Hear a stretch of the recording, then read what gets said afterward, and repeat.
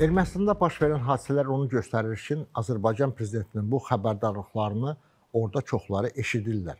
Hər halda Paşinyan bu yaxınlarda Ermənistana yeni konstitusiya lazımdır fikri və bununla bağlı bir işçi qrupunun yaradılması.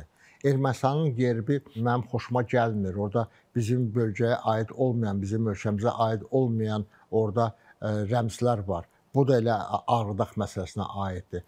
Bu fikri də Paşinyan söylədi. Bu günlərdə isə Paşinyan e, Ermənistanla Azərbaycan sərhədlərinə gedib Qazax bölgəsində orada insanları inandırır ki, bu dörd kənd məsələsi bu düzgün həll olunub. Bu dörd kənd Azərbaycanın ərazisidir. Heç vaxt Ermənistan ərazisində olmayıb. Ona görə o dörd kəndi də biz qaytarmalıyıq. Demək olar ki, Paşinyan öz cəmiyyətini Azərbaycanla sülhə hazırlamağa çalışır. Eyni zamanda müxalifət də indi çox fəallaşıb. Paşinyanın bax bu addımlarının, yəni dörd kəndin Azərbaycana qaytarılması, sərhədlərin delimitasiya və demarkasiya məsələlərinin başlanmasını erməni müxalifəti bir fürsət kimi istifadə edir.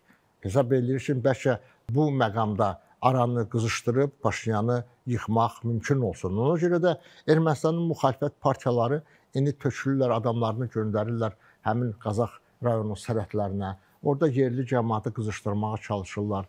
Polislərlə toqquşmaya gedirlər.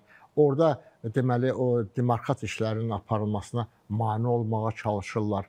İndi isə keçiblər Ermənistan ərazisində güya ki, hər şəhərdə belə bir mitinqlər təşkil etməyə, amma biz kadrlara baxırıq, faktlara baxırıq, ekspertlərin rəylərini öyrənirik və görürük ki, yenə də bu çox kiçik sayda bir insanlardır.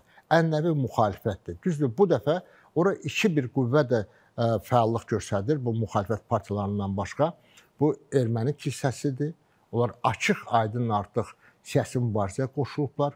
Paşinyanı devirmək üçün, aranı qarışdırmaq üçün faktiki olaraq erməni kilsəsi həmişə Daşnaq partiyasının proqramına uyğun çıxış eləyirdi. İndi isə bunu çox açıq nümayiş etdirir. Eyni zamanda Azərbaycanda indi həbsdə olan separatçıların liderlərindən biri Ruben Vardanyanın vaxtilə yaratdığı bir partiya var idi Ermənistanda. Seçkilərə qatıldılar, heç bir uğur qazana bilmədilər, parlamentə düşə bilmədilər. Ancaq indi məlumatlar gəlir ki, məhz həmin partiyada yaxşı pullar buraxır o təxribatçılar üçün, çalışır e, orada cəmaatı e, ayağa qaldırsınlar. Çox maraqlıdır. Əgər Ruben Vardanyanın özü Bakıdadırsa, həbsdədirsə və məhkəməni gözləyirsə, orada kim o tapşırıqları verir onlara, kim idarə edir həmin o partiyanın? Deməli, o proyektin də e, başında heç Ruben Vardanyan da özü də durmur. Onu da oynadan adamlar və qüvvələr var.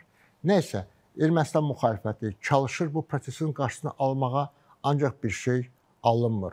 Yalnız bu son günlərdə e, Ermənistanda bu qondarma soyqırım e, məsələsi ilə bağlı kütləvi aksiyalar keçiriləndə onda da ortalığa maraqlı bir e, mənzərə çıxdı. Bir tərəfdən Daşnaq partiyası təşkil eləyir bu deməli yürüşləri. Orada Azərbaycan bayraqları yandırılır. Azərbaycana və Türkiyəyə qarşı nifrətlə dolu çıxışlar olur, amma eyni zamanda Nikol Paşinyan bu qondarma soyqırımla bağlı çox maraqlı çıxış elədi. Faktiki olaraq onun çıxışından sonra erməni müxalifəti yenə də onu tənqid etməyə başladı ki, indi isə Nikol Paşinyan təkcə konstitusiyanı gerbi yox, bu soyqırım məsələsini də yenidən deməli qurmaq istəyir. Tamamilə fərqli yanaşma ilə söhbət ondan gedir ki, Paşinyanın açıqlamasında birbaşa göstərildi ki, o vaxt baş verən hadisələrin əsas səbəbi o idi ki, ermənilər müxtəlif geosiyasi intriqalara qoşuldular, onlara verilən vədlərə inandılar, aldadıcı vədlərə. Məhz ona görə də bu faciə baş verdi.